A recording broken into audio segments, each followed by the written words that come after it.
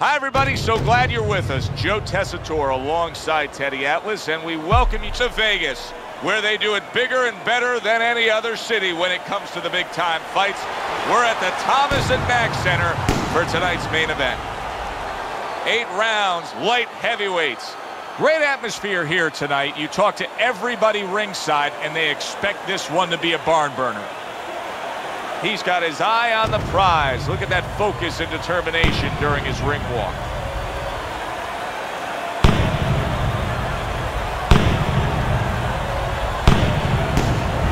He's making his way to the ring right now. Boy, and he's not bashful at all, is he? Look at him, confidently making his way down for this contest.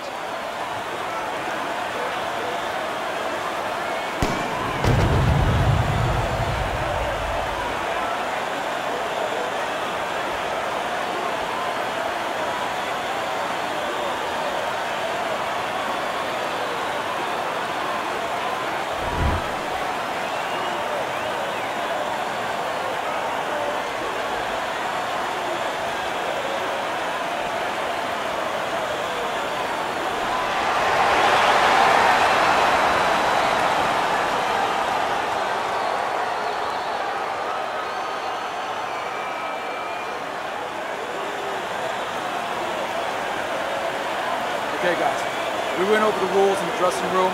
Let's touch gloves.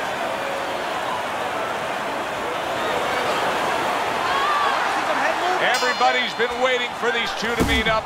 Now they do as round one is underway.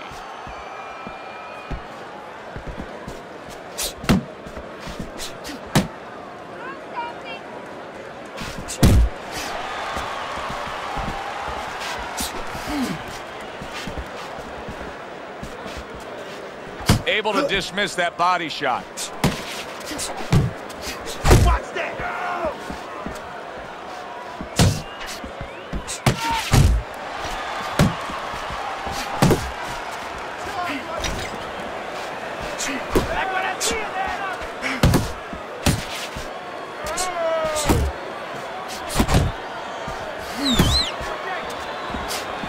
Good step back counter punch there.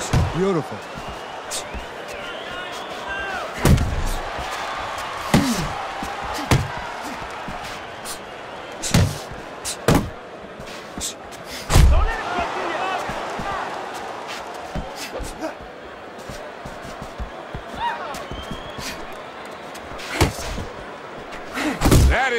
Strong uppercut there.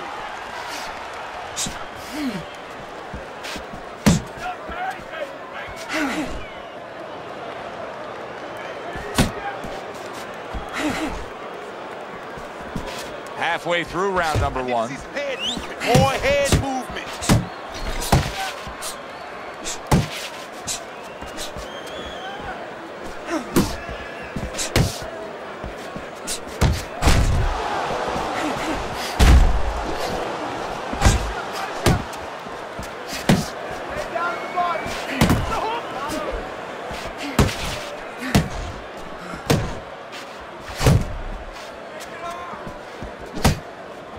Very nice defensive guard there.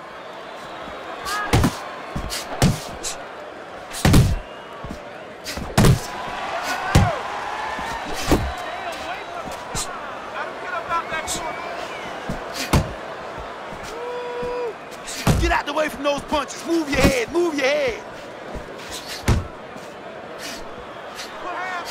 Able to get away from that headshot with the block.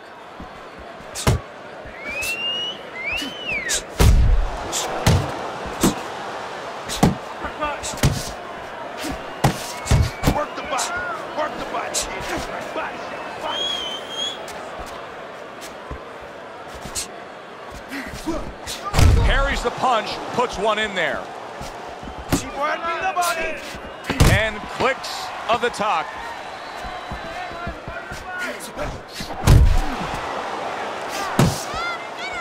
Big uppercut right on the mark. This round comes to an end. A round in which this fighter threw a lot of punches, didn't land a lot of punches. I'll tell you, what advice can you give to him if you're the trainer? Well, first of all, deal with the psychological part. Joe, don't forget, 75% of this game is psychological. Don't let him get discouraged because even though he's not going to say nothing, in his head he's starting to get discouraged. Just say to him, hey, listen, you're going to catch him. Let's shorten him up a little bit. And you know what? He's moving his head, so go to the body because now you're going to hit him a little in the body because the body's not moving. Here we go. Round two is underway. Gets rid of that body shot. Nice work, the left hand to the head.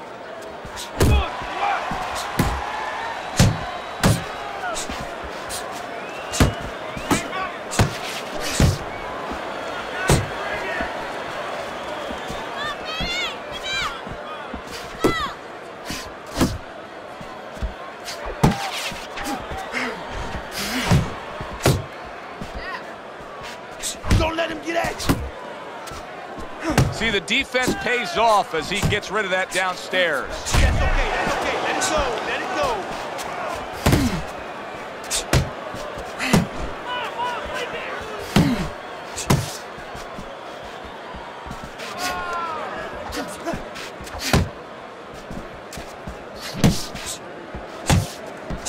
A well-targeted jab that time. And that's exactly what you need when you want to stay on the outside. Something to keep you away from your opponent. Nice!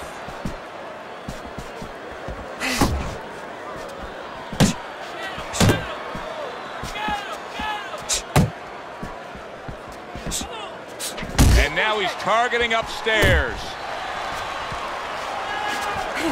Halfway through round number two. Teddy, you gotta like this because he's using that jab the way you like him to. Especially when you're being aggressive. You walk in, you want to walk in where the guy can't see you coming. That jab blinds your opponent. How about that left hand? Tucks those elbows in, blocks the body shot.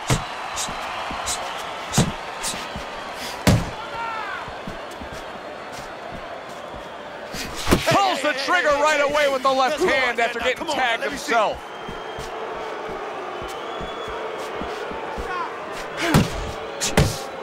Keep moving your head. Come on, keep moving.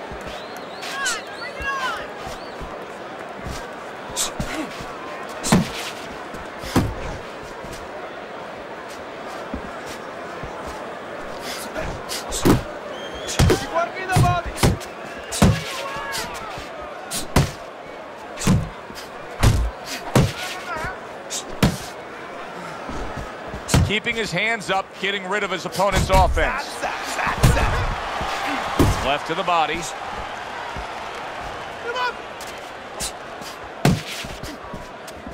Able to land the jab.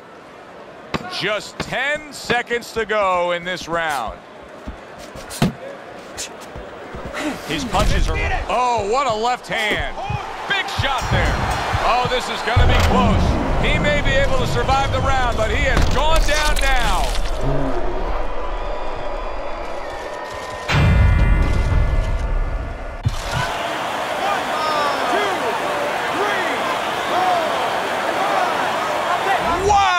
Saved by the bell. That's like something out of a movie here. Yeah, except nobody's coming in there and saying cut.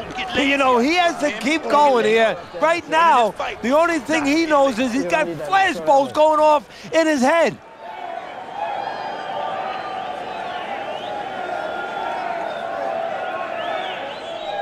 What did I tell you? Keep your hands up. You're throwing punches, but your hands are down. Are you good? Focus now. Focus. All we need is water up there, and that's it. You don't need that. We'll throw that away. How quickly can he recover? That's one of the questions that'll be answered early on in this round after being knocked down in that last round.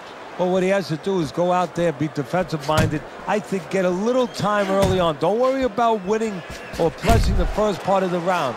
Just get himself together, then start picking it up after that. Teddy, what would you recommend based on what we're seeing here today? Well, two aspirin and then go. oh no, actually, I would say a little counterpunching would be just what the doctor ordered. That's a better prescription for him. That just missed.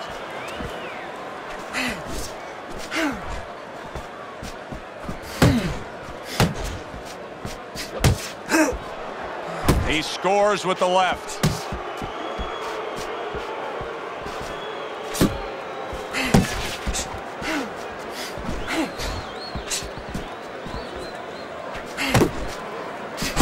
Right back with some offense of his own.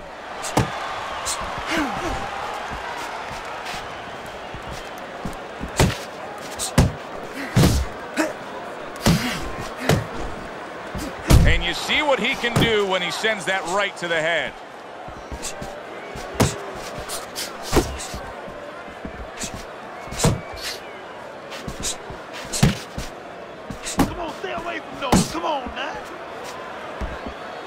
Halfway through this round.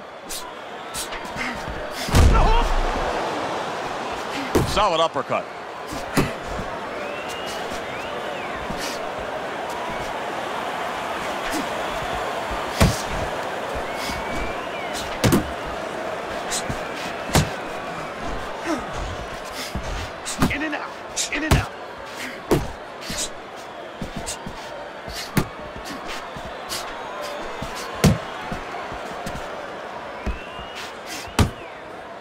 Distance such a key factor always, Teddy, when it comes to defense. With his good foot movement, he's been keeping that distance. His opponent, how does he close that gap properly? Well, first of all, he's got to use his jab to close it because he's getting picked off coming in. He's getting pot shotted. So he's got to have something coming at his opponent that keeps him distracted. Use that jab. Now, don't use it conventionally, Joe. You're jabbing at the head, you're not finding nothing. You're just finding space. So jab a little lower. Drop the sights a little bit. Jab at his chest. I like just so you touch something, and then you can I work see. your way in. You can start to find them a little.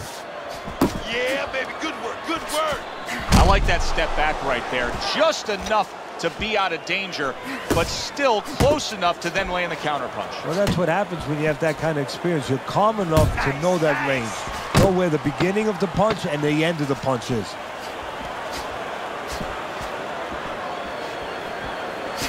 Flush shot, the left hand came in. And round three comes to an end. Go out and fight this guy. Stick it to these guys. You have to go out and get this guy.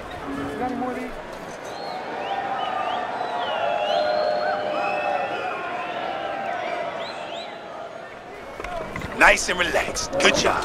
Now, this is what I need you to do. Keep shooting that jab to his chest. His hands will drop, then follow with the power shot. Keep this guy off balance with that power shot.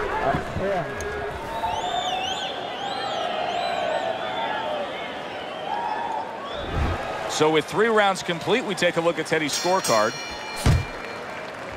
Great job of protecting himself. He's keeping his guard up very, very well. Teddy, does it help to have the speed that he has? Uh, sure, anytime you have speed and you can put it into the equation where whatever you're doing, it has to be technically right, but now you put speed, you're doing it even better. You're doing it at a higher level.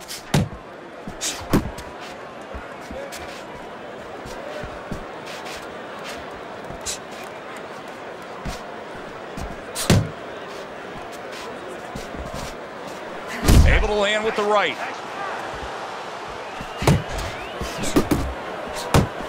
Big, big shot he just scored with. And for the second time tonight, he goes down.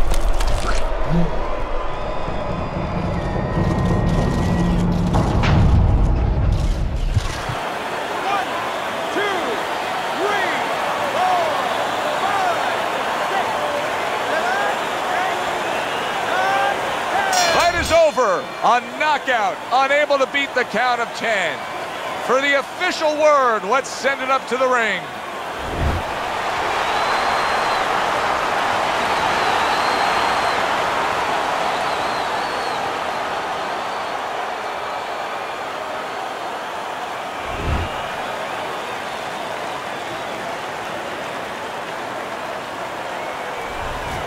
That's what you want to see. A guy who can close the show and finish with style. He ends up a knockout victor tonight. And that's what his trainer wanted. His trainer was even telling him, step it up a little bit because he knew this was possible, and they got it. It was a good one indeed. And for Teddy Atlas, I'm Joe Tessitore.